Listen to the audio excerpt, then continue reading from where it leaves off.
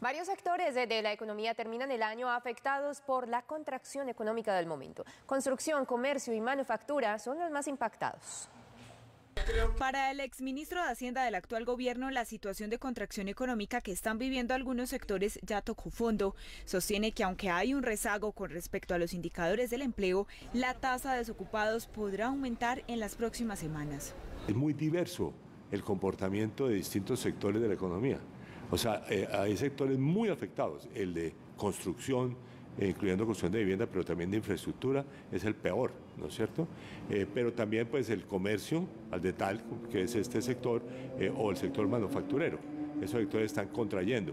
El comercio es uno de los sectores más impactados de forma negativa. En Medellín, comerciantes del hueco resaltan que fue un año en el que las ventas cayeron significativamente. Toda la línea de vestuario y calzado estuvo muy contraída, todo lo que tuvo que ver también con electrodomésticos, muy bajo volumen de ventas. Obviamente, pues esas categorías, especialmente lo que tuvo que ver con tecnología y electrodomésticos, se comportaron muy bien en pandemia y post pandemia y pues hubo una contracción muy grande ya en esta, para este año. Expertos señalan el impacto de las altas tasas de interés, el estancamiento en las exportaciones no convencionales y la baja ejecución pública del gobierno nacional como algunas de las causas de esta desaceleración. Que finalmente sí se está extrayendo eh, recursos por la vía de impuestos, pero no se están gastando en la medida de lo programado. A pesar del panorama de desaceleración, hay sectores como el de entretenimiento y de minas y energía que registran crecimiento.